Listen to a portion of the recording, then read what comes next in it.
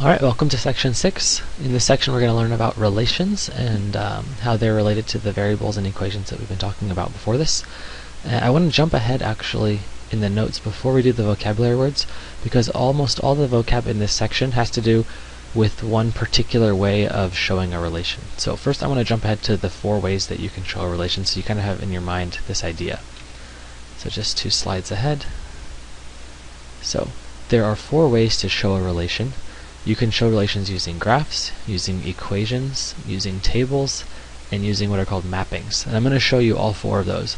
But I just want to emphasize that these vocabulary words that we're using, not all of them, but most of them deal only with the graphical representation of a relationship.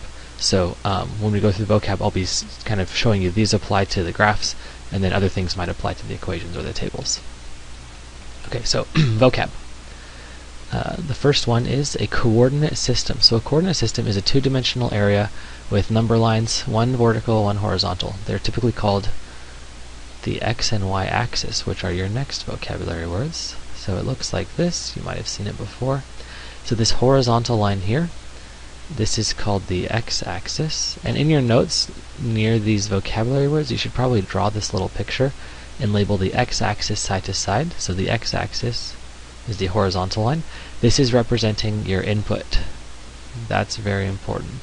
Sometimes in different problems it'll be called a different thing besides x-axis, like it could be time or distance or some real-world thing like the number of shoes you bought, but it's always the input on the horizontal axis, and then the y-axis is the vertical one, and that's always your output.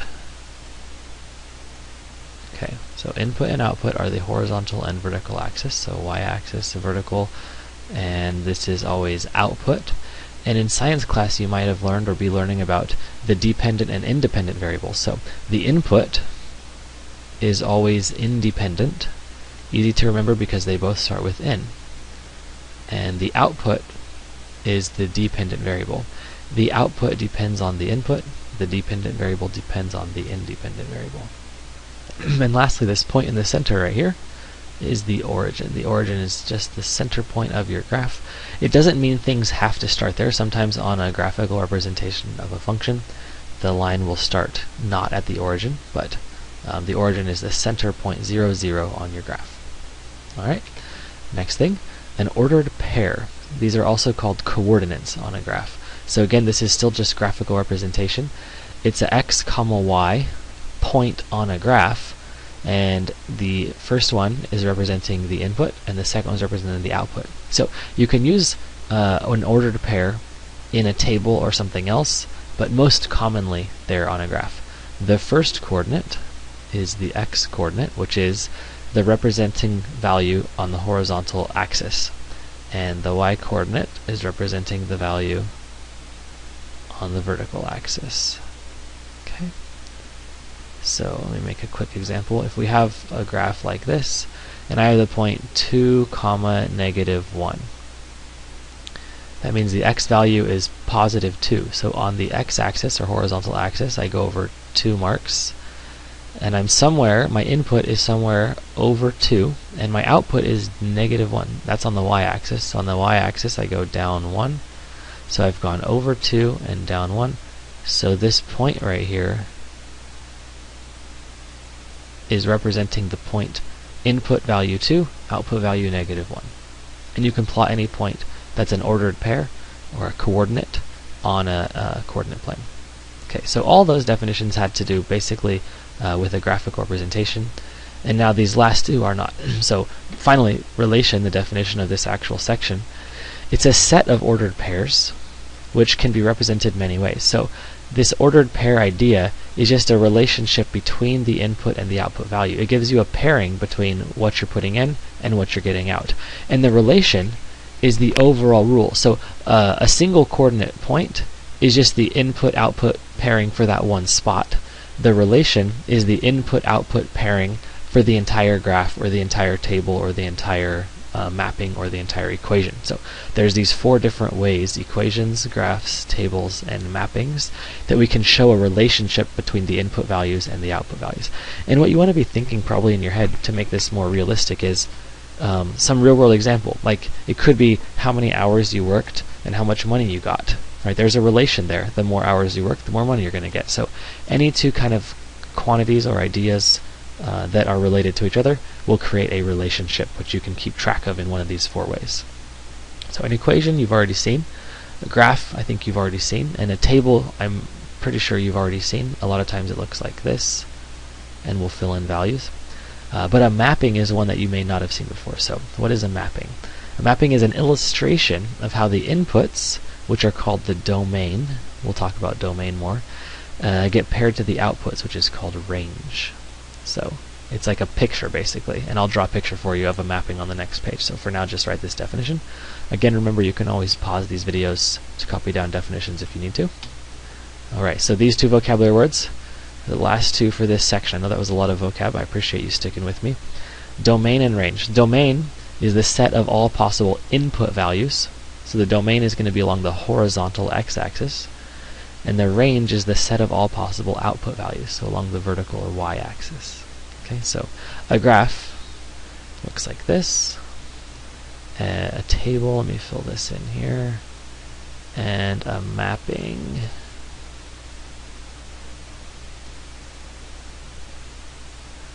And I'm going to change colors, kind of fill in the rest.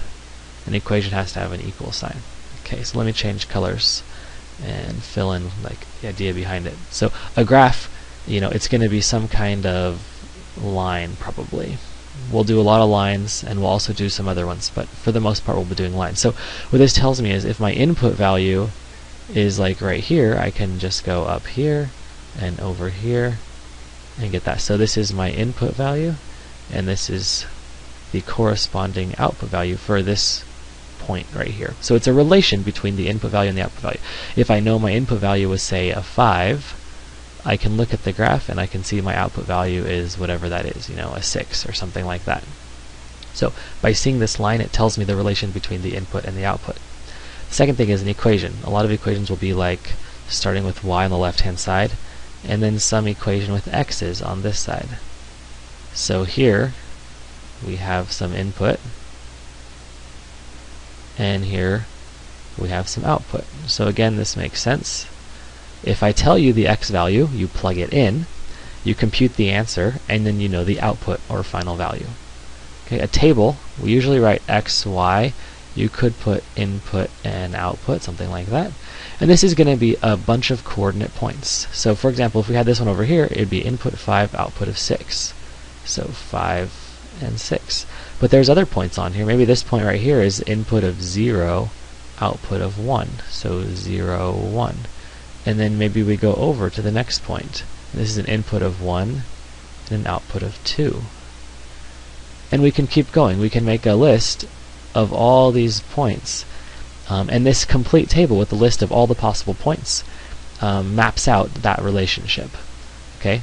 Funny I used the word maps there because our next one is mapping. So a mapping takes these input values and shows you what the output value is by virtue of an arrow. So you have a list of all possible inputs, aka the domain. Maybe uh, maybe we have a domain like this, 50126. And maybe our outputs are 6, 1, 2, 4, and maybe that's it. So 5 maps to 6. What that means is the coordinate point 5 comma 6 is on the graph. 0 maps to 1, 1 maps to 2, but suppose hypothetically that 2 maps to 4 and 6 also maps to 4. While that may not make sense if you're thinking about how much hours you worked and how much you got paid, there are other situations where two different inputs can both give you the same output. Um, that's certainly possible.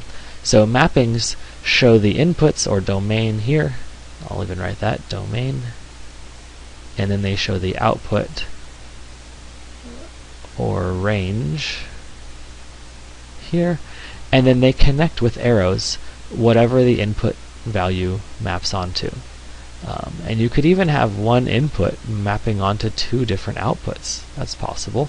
That would correspond to the point 0, comma 6 and the point 0, comma 1. So you could have 0, 6 and you could have 0, 1 both on this data table, then that means the input of 0 has two different possible outputs. And that's okay in a mapping or a table or a, a graph or an equation. All of these are just relations between the input and the output. Uh, they have some kind of relationship, they're not random. Okay, that's it for uh, relations. Um, mostly the homework will be identifying whether something is or is not a relation or kind of understanding these vocabulary words. Um, Alright, see you in class.